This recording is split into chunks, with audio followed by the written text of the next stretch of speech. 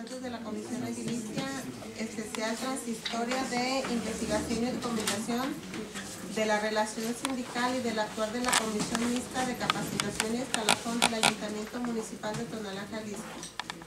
Agradezco su asistencia a la primera sesión ordinaria de esta comisión, por lo que de conformidad con los artículos 42, 46, 51, 52, 57 y 62 y demás relativos aplicables del reglamento para el funcionamiento interno de las sesiones del Ayuntamiento Constitucional de Tonalá, Jalisco, estando reunidos en la sala adjunta al Salón de Sesiones Tonaltecas Ilustres del Palacio Municipal de Tonalá, Jalisco, damos inicio a esta sesión siendo las 11 horas con 14 minutos del día 18 de mayo del año 2022 para lo cual le solicito al secretario técnico si va a tomar lista de asistencia y, ve- y verificar si existe quórum legal. Como lo indica, se procede a tomar lista de asistencia. Regidora vocal María Esther Ayala Alba. Regidor vocal, ro- regidora vocal Rocío Acosta Cervantes. Presente. Regidora vocal Celia Guadalupe Serrano Villagómez. Regidor vocal Alejandro Buenro- Buenrosco Hernández. Regidora presidenta Guadalupe Villaseñor Fonseca. Presente. Regidor José Amado Rodríguez Garza. Regidor Ramón López Mena. Regidor Juan Carlos Villarreal Salazar. Regidor Manuel Nájera Martínez. Presente. Síndico Nicolás Maestro Landeros. Presente. Regidora Ana Priscila González García. Regidora Dulce Lunel García Venegas. Regidora Laura Liliana Oleas Frías. Presente.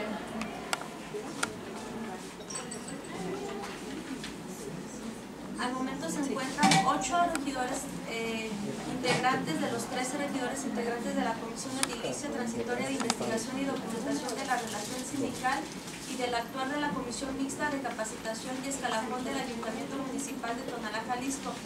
En cumplimiento con lo dispuesto con el artículo 51 del Reglamento para el Funcionamiento Interno de las Sesiones y Comisiones del Ayuntamiento Constitucional de Tonalá, Jalisco, se declara la existencia de quórum legal y válidos los acuerdos y trabajos que en ella se realicen. Asimismo, doy cuenta del oficio SRMAA 232-2022, suscrito por la regidora María Esther Ayala Alba, en donde hace del conocimiento que por razones de salud no es posible asistir, a la presente sesión ordinaria, por lo que designa al licenciado Wilber Bertrand Sostegui. De igual manera, envió oficio 165 dos- del año 2022 eh, la regidora Priscila y en su representación este, está Roberto Carlos Estrada Hernández. Por lo que pongo a su consider- consideración justificar su asistencia, les solicito lo manifiesten levantando su mano, por favor.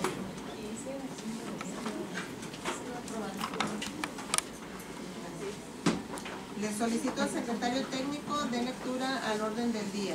Como lo indica, se procede a dar lectura al orden del día. Número uno, lista de asistencia y declaración de quórum legal. Número dos, lectura y aprobación del orden del día. Número tres, lectura o en su caso aprobación del acta de la sesión ordinaria celebrada el pasado 4 de abril del 2022. Número cuatro, lectura de la correspondencia. Número cinco, le- informe y acuerdos tomados en la pasada mesa de trabajo.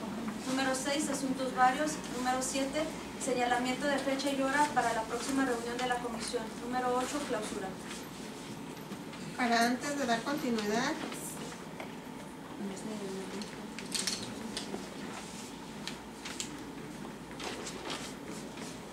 se pone a consideración el orden del día y se pregunta si es de aprobarse, lo manifiesten levantando su mano, por favor. Asunto ha sido aprobado. Les solicito continuar con el orden del día. Para antes doy cuenta que se integra la regidora Dulce Yunuen. Gracias. Como le indica, se, eh, pasa al punto número 3 del orden del día que tiene que ver con la lectura y en su caso aprobación del acta de la sesión ordinaria celebrada el pasado 4 de abril, de abril del 2022. Se pone a su consideración obviar la, le- la lectura de dicha acta, ya que con anterioridad se les hizo llegar, por lo que les pregunto si están de acuerdo lo manifiesten levantando su mano. De la primera, de la primera sesión. El punto ha sido aprobado. Continúa con el orden del día, secretario. Como lo indica, se procede al punto número 4 del orden del día que tiene que ver con la lectura de la correspondencia llegada a esta comisión. Se instruye al secretario técnico para que dé lectura a la correspondencia.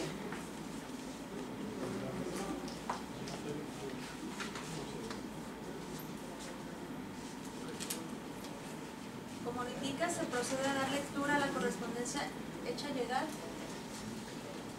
por el maestro Luis Ramón Esparza Cesate, director general de Administración y Desarrollo Humano, eh, mediante oficio DGADH, diagonal 1082, diagonal 2022, en donde eh, hace llegar el acta, el acta administrativa levantada el día 5 de octubre del 2021.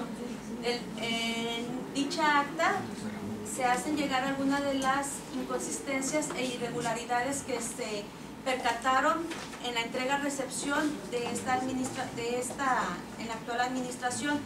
Asimismo, se hace llegar el oficio RH 270 do- diagonal 2022 suscrita por el director de Recursos Humanos, licenciado Lázaro, Lázaro Morales Vicencio, eh, donde pone mm, anteponiendo un cordial saludo y en relación a la mesa de trabajo de la Comisión Especial Edilicia Especial Transitoria de Investigación y Documentación de la Relación Sindical y del actuar de la Comisión Mixta de Capacitación y Escalafón del Ayuntamiento, realizada el pasado 13 de- del mes y año, toda vez que derivado de esta ha sido requerido un informe escrito a esta Dirección de Recursos Humanos, se manifiesta lo siguiente. Habiendo iniciado labores en la presente administración municipal, el pasado mes de octubre del 2021 se hizo la revisión de cuatro publicaciones de convocatorias, siendo las siguientes. Publicación de resultados de la convocatoria para concursos de plaza para servidores públicos de fecha 26 de febrero del 2021. De la convocatoria en mención existen dos archivos, uno de 119 movimientos y el segundo con 150 movimientos aplicados siendo en su totalidad para el caso de este segundo el archivo 174 plazas enumeradas. Se anexan copias simples de, ambas, de ambos documentos. Segunda, publicación de resultados de la convocatoria para cambios de adscripción de servidores públicos de fecha 9 de marzo del 2020. También se anexan copias simples.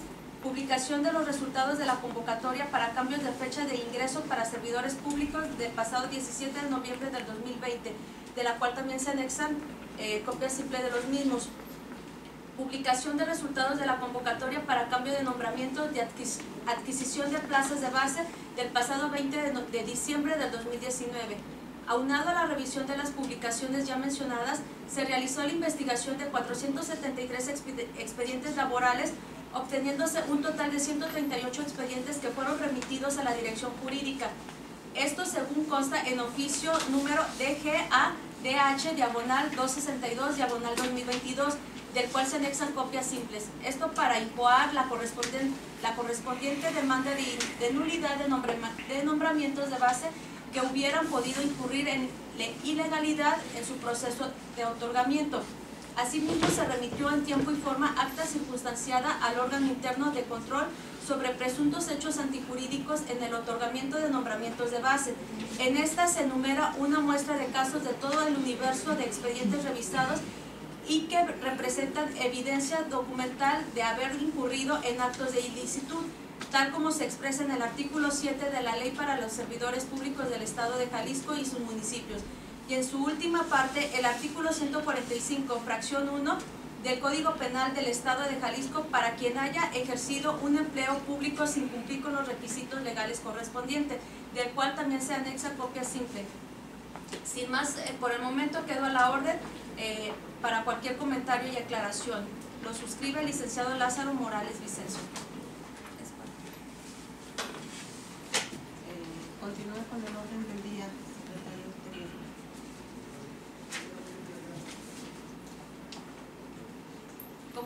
Se procede al, al punto número 5 del orden del día que tiene que ver con el informe y acuerdos tomados en la pasada mesa de trabajo. El pasado 13 de mayo del 2022 se llevó a cabo la primera mesa de trabajo de esta comisión. Se hace de conocimiento número uno de las actas circunstanciadas por la Dirección General de Administración y Desarrollo Humano se desprende lo siguiente.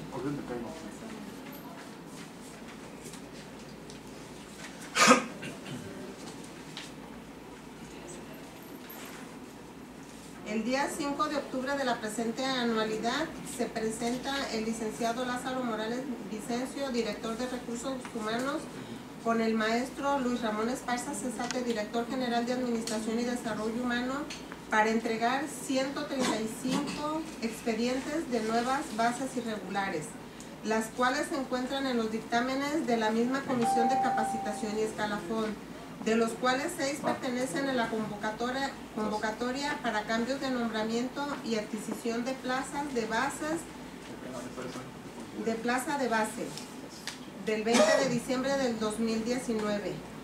Anexo 1. Viene un documento anexo. Y 57 que pertenecen a la convocatoria del concurso de plazas para servidores públicos del 26 de febrero del 2021. Anexo 2. Y, los, y las cuales son determinadas irregularidad, irregulares de conformidad a la ley para los servidores públicos del Estado de Jalisco y sus municipios. Adicionalmente, se observaron algunas irregularidades en el proceso de otorgamiento de 72 bases, anexo, anexo 3, ya que al revisar los expedientes y buscar en los archivos la información requerida en las disposiciones legales, algunos no se encuentran debidamente requisitados y otros se encuentran incompletos.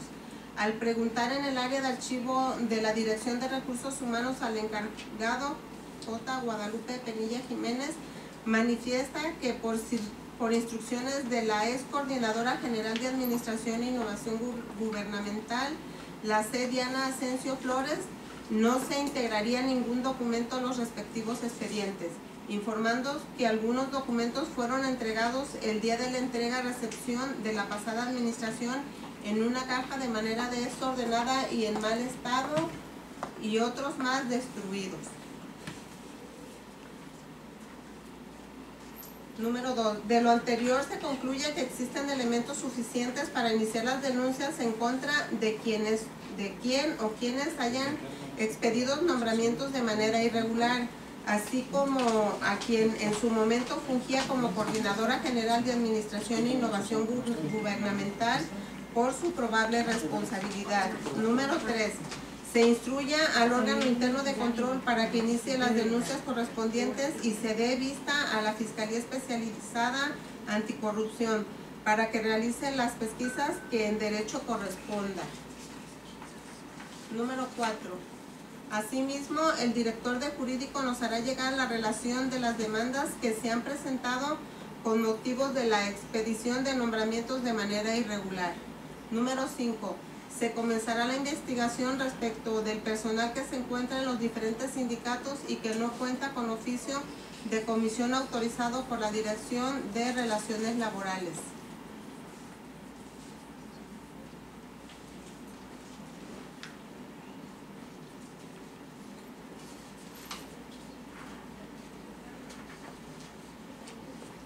Bueno, en este momento, este, respecto al, punto número uno, de las actas circunstanciadas por la Dirección General de Administración y Desarrollo Humano. Este, respecto a lo leído, quisiera escuchar si tiene algún comentario alguien o alguna aportación en este punto. Solo preguntar si esa información nos, la van a, nos van a proporcionar la copiadora. Sí, regidora, se hará llegar a sus correos vía electrónica no se les envió con anticipación porque apenas no fue entregada el día de hoy. Esta información, perdón, ¿cuándo les entregaron? ¿Mande? Esa información, ¿cuándo se las hicieron llegar? La de recursos humanos el día de hoy.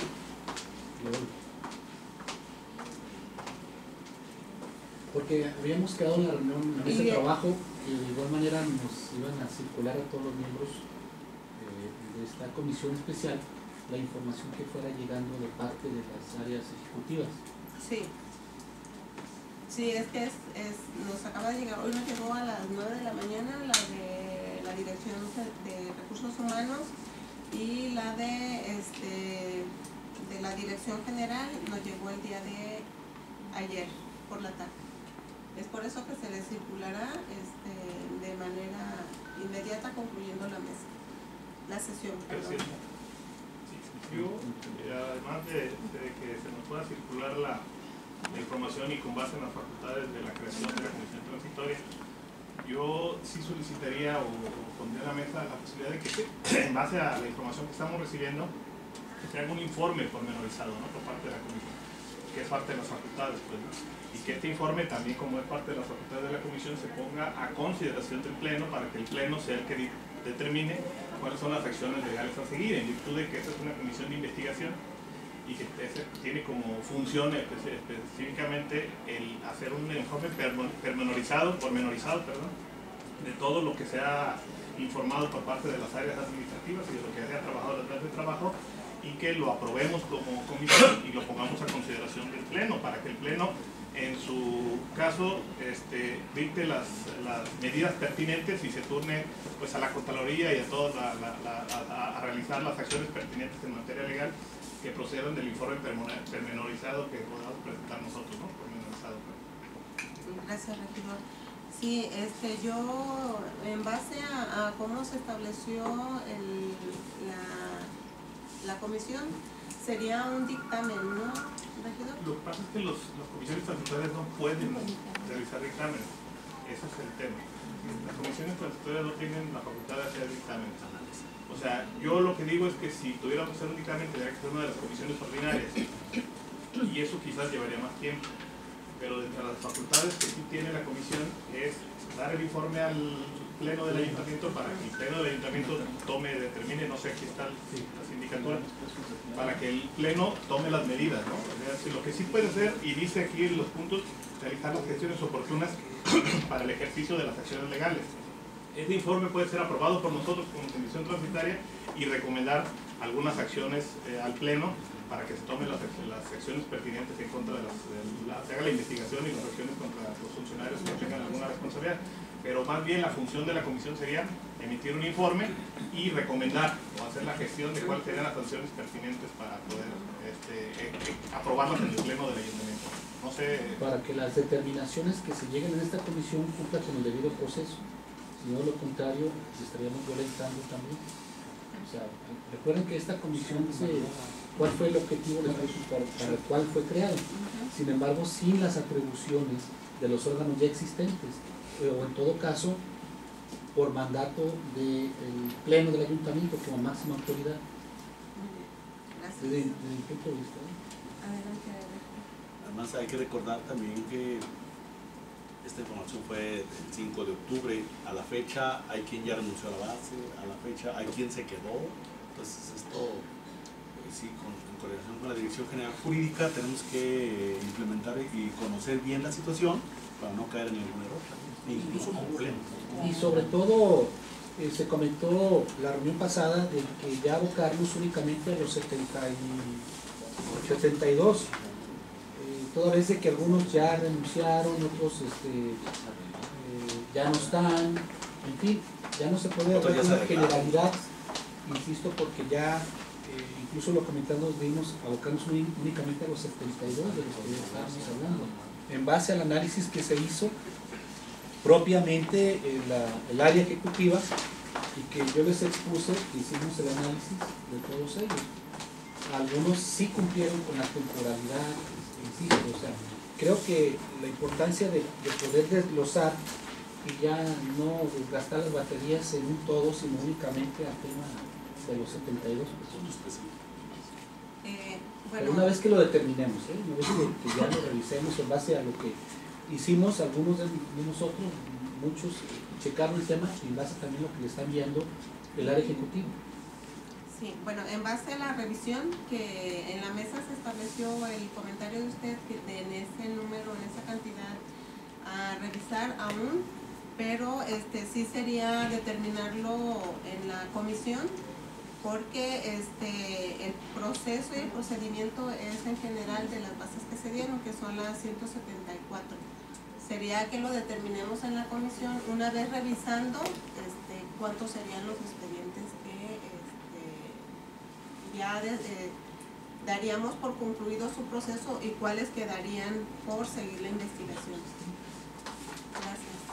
Sí, preguntaba, yo preguntaba en la sesión pasada, en la mesa de trabajo, de las bases que las personas renunciaron porque, porque no tenían problemas, que decidieron renunciar a ellas, esas bases en qué, cómo quedaron, si están vacantes, ¿sí? este, que nos pasaran esa información, si se van a ir a otra, a- cuando se haga otra ¿Se van a congelar? convocatoria, ¿sí? o qué va a pasar En con la esas Comisión de bases. Hacienda analizamos, perdón, regidora, perdón, Sí, adelante. en la Comisión de Hacienda analizamos que se van a congelar esas bases. No sé qué revisar que correspondan precisamente A las a las que A las que hablando. No, y, y así, y a otras, pero sí se van a congelar. Sí lo checamos en la Comisión de Hacienda. Por eso sería muy importante que tuvieras una especie de resumen, de síntesis de cuáles son ¿Cuáles las anomalías que se encontraron y cuáles son lo que nosotros consideramos como comisión, que son eh, irregulares, en donde es pertinente tomar algunas acciones y llegar a conclusiones en el informe pues, ¿no? y ponerlo a para saber que son, poderlo inclusive ver entre toda la comisión y aprobar el informe entre. El jurídico ya debe de tener el informe de cuáles son las que están en, en controversia o que se tienen que analizar para no analizarlas todas en conjunto, como decía el síndico, irse directo al- a las 72 bases, además de manera coordinada con la Comisión de Hacienda, revisar que sean las mismas plazas, porque ellos ya traen una, un plan para acomodar el presupuesto y tener las plazas de las que tienen demanda, las que no, las que quedaron vacantes, unas que se van a regularizar y toda la plantilla laboral va a quedar ya eh, equi- equilibrada. Equilibrada, pero no. Equilibrada, pero no definida, ¿verdad? Porque pues sí todavía hay muchos movimientos en estos procesos. Sí, inclusive por eso decía que quizás el procedimiento eh, pudiera ser que después del informe se, sí se turne a comisiones ordinarias para que se pueda emitir un dictamen por las comisiones de Hacienda, ¿no? Podría ser de Transparencia y Combate a la Corrupción. Nosotros estamos a por aprobar un dictamen el día de hoy en base al inicio de una investigación sobre el tema de los partímetros, por ejemplo, en materia de transparencia y anticorrupción. Entonces, quizá para poder empatar esa información que comenta nuestro compañero, que ya el dictamen tenga la opinión también de Hacienda y de todas las áreas, para que haya un dictamen propuesto. pues. Yo creo que el paso procedimental sería, desde mi punto de vista, es rendir el informe al Pleno y que el Pleno lo turnara a las comisiones ordinarias para que vean el tema presupuestal y todo y salga un dictamen ya eh, más en, en el mismo sentido. Pues, ¿no? Muy bien, gracias, regidor.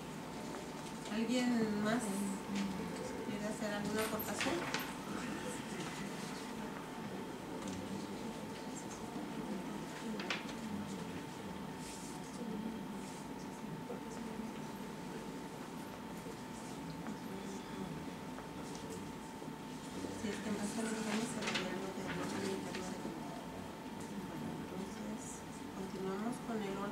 Ah, para antes doy cuenta de que se integra el regidor Alejandro Buenrostro. Gracias, regidor. De continuidad.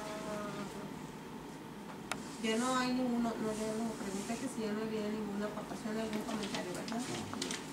Continúa con el orden del día. Como lo indica, se procede al sexto punto del orden del día que tiene que ver con asuntos varios. De igual manera, alguien que tenga algún tema que tratar en asuntos varios. No, a ver, Continúe con el orden se procede al séptimo punto del orden del día que tiene que ver con el señalamiento de fecha y hora para la próxima reunión de la comisión. Eh, dejamos abierto el día y hora para la siguiente sesión, ya que con tiempo se les estará convoco- convocando. ¿Sí? ¿Estamos de acuerdo? Sí. Gracias. Continúa, secretario. Eh, se pasa al octavo punto del orden del día que tiene que ver con la clausura. Se dan por concluidos los trabajos referentes de esta sesión, pasando a la clausura siendo las 11 horas con 38 minutos. De día fecha del día y fecha de hoy. Muchísimas gracias. Gracias. Todo.